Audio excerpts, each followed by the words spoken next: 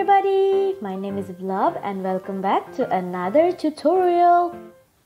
Today I will show you how I like to paint the skin. I hope you find this video very helpful and let's go.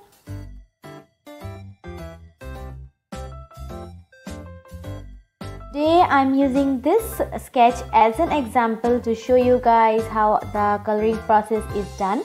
This is my OC Itsuki by the way if you are not acquainted with him. Say hi. So let's go. I did my sketching portion and finished my line art so it is really clean and nice for your eyes. I will definitely upload a full speed paint or time lapse video for the entire portrait once it's finished. So stay tuned for that. And first of all, we're going to start off by choosing a perfect base color for the skin.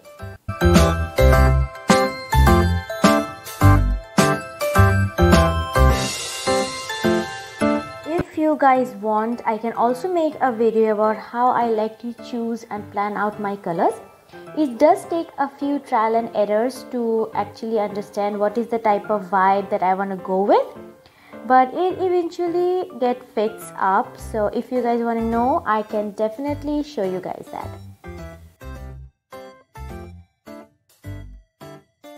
I take my time to choose the colors properly. So these are my chosen colors. If you guys want you can take a screenshot if that but let's continue. So I will use these colors in combinations with each other to create the perfect skin tone of my preference. So for the base color uh, I have used this very pale yellowish kind of shade. If you want to go ahead for more of a tan dark skin please feel free to do so and I will start off by adding the first shades of the hair. So in this case I will add a layer on top of the base paint layer. We'll add this and on a clipping tool settings.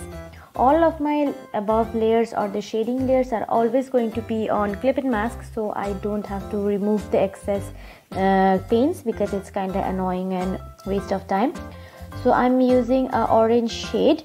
Firstly to add the initial shadows of the hair on his face. Uh, let me remind you this is there are like not wrong and right ways to draw a skin but if you want to draw like me this is the steps that you might want to follow. So I just cancelled it right now because I forgot to add the gradient. So officially the step 2 or after the like base paint the step 2 is going to be to add some gradient I'm using a slightly darker peach color to add the um, dimensions to his face Oh, also I used the brush airbrush tool to do the gradient thing. Now I'm using paint fade to add the additional shadows of the hair. Yeah, I cancelled the previous one because you know it's all about trial and error.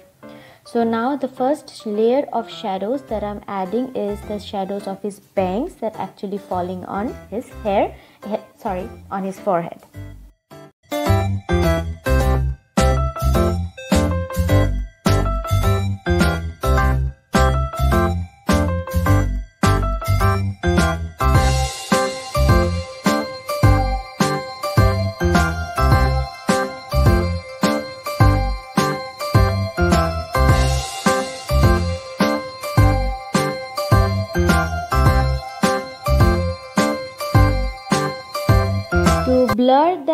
Harsh shadow lines I like to use some intermediate shades that will kind of blend the harshness and give them a soft touch to the skin tone. Personally, I really like to use at least 2 to 3 intermediate shades. You really don't have to if you like harsh shadow type of art style. Please feel free to skip this step. I am using the same brush with slightly reduced opacity and I will add other shadows on the dark, darker side of the face. And as always, I cannot talk today. So yeah. If you precisely want to know where I like to add the shadows is it is going to be the behind the nose, under the bangs, under the lips and on the jawline. Yeah yeah it is called jawline so you can also see i am using the another intermediate shade that will really help to create another soft gradient to the shadows.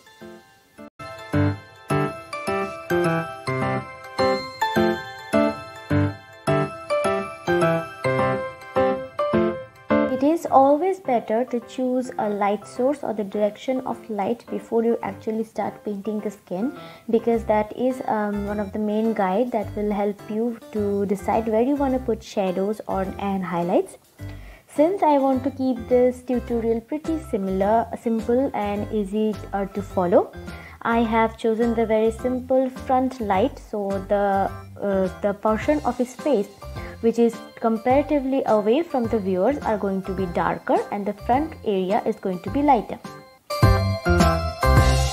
Touch the neckline a little bit so I am going to add the first layer of shadow as we did for his face and we will like paint all the crevices and the ups and downs of his really defined neckline.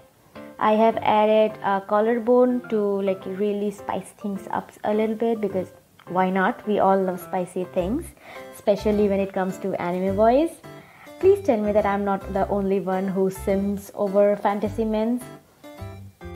I really cannot be the only one, can I? So here also notice I added another transitioning shade or the intermediate shade and let's do another layer of darker colors of shading. So first of all don't forget to add some contour to the nose like you do it on your makeup. If you are someone who is into makeup you know what i mean. So let's go ahead and finish our neckline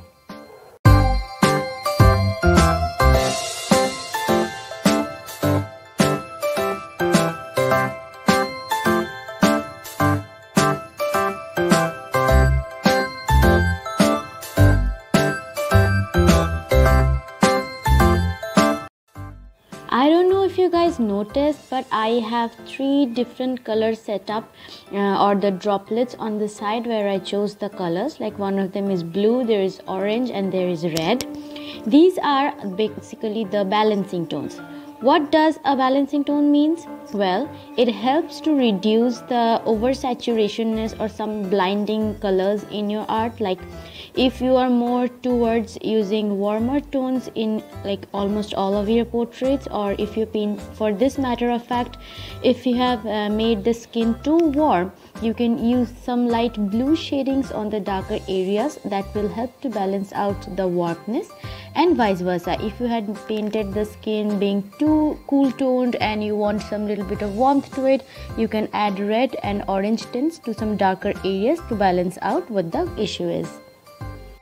Another thing that I just missed is that I like to use some muted purple colors on the darkest part of the shadows for the same purpose like balancing the tones and having some visual interest. So if you guys want wanna add some like something like that you can also go ahead and do it. It is a muted purple shade now let's give him some eye makeup. Uh, the browns around his eyes actually helps with the fact that the eye is actually sitting on the skin and it's not floating on top of it. But also adding some browns around the eyes helps to you know really make things attractive in a weird way. So i like to always add some eye makeup to the eyes even if just a subtle brown shade so i'm adding even darker browns to really oversaturate the things. If you've been to my channel for a while now you probably know that i like to add um, really good saturations to my art. The light color aesthetic is really not my thing. So if uh, that kind of bothers you sorry for that. I always tend to forget to paint the ears and at the finishing touch I often do that but thank goodness this time it's a big no no I remember to paint the ears. Here is one of a quick tip that uh, suppose you have finished the skin but you still want to change uh, the little bit of hues and saturations but you was like I have come this far it will be really difficult to change and go to every layer every single layer and change it. It's kind of annoying. You can also go ahead and use that FX filter on the side. You can add Gaussian blur you can adjust the hue and saturation on the color adjustment option. So yeah in case you didn't know that i always like to add some blush to his faces because that kind of makes him go cheeky so I used a really warm peach tone. Again went to the FX filter option. Used the Gaussian blur to really blur it out. So it you know balances out seamlessly. Now on the top of that I added another layer clipped it added to the multiply layer settings to add few more details. And on top of that in another layer I added some highlights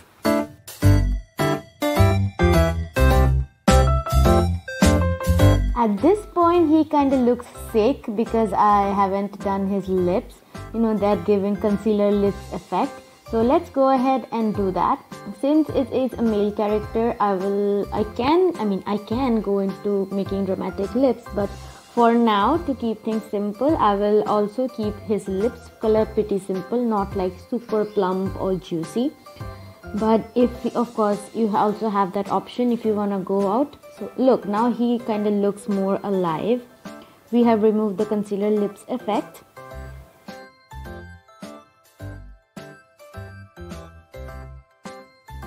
Do you all remember about the muted purple shade that I just talked like a minute ago?